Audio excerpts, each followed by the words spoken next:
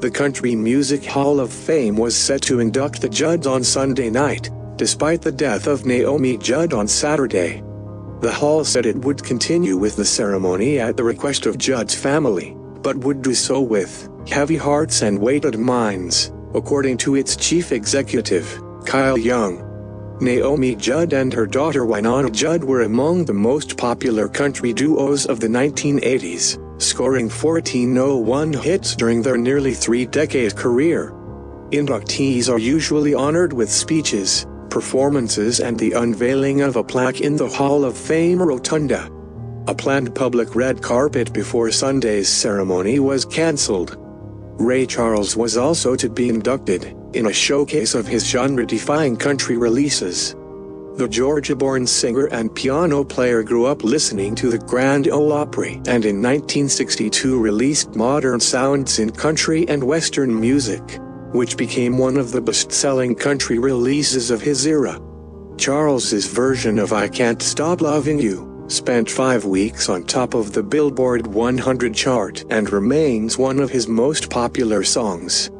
He died in 2004. Naomi Judd died unexpectedly on Saturday near Nashville. We lost our beautiful mother to the disease of mental illness, her daughters, Wynonna and Ashley, said. We are shattered. We are navigating profound grief and know that as we loved her, she was loved by her public.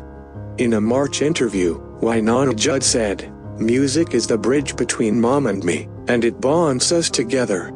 Even in the not easy times. In choosing to go forward with the ceremony, the Country Hall of Fame noted Naomi Judd's remarkable life. Naomi overcame incredible adversity on her way to a significant place in music history.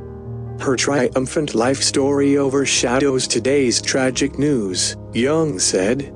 The Hall of Fame was also due to honor Eddie Bayers and Pete Drake. Bayers, a drummer in Nashville for decades who worked on 300 platinum records, is a member of the Grand Ole Opry Band.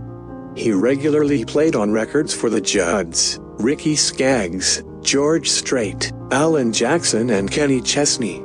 He is the first drummer to join the institution. Drake, who died in 1988, was a pedal steel guitar player and a member of Nashville's A Team of Skilled Session Musicians. Played on hits like Stand By Your Man by Tammy Wynette and He Stopped Loving Her Today by George Jones. He is the first pedal steel guitar player to become part of the Hall of Fame.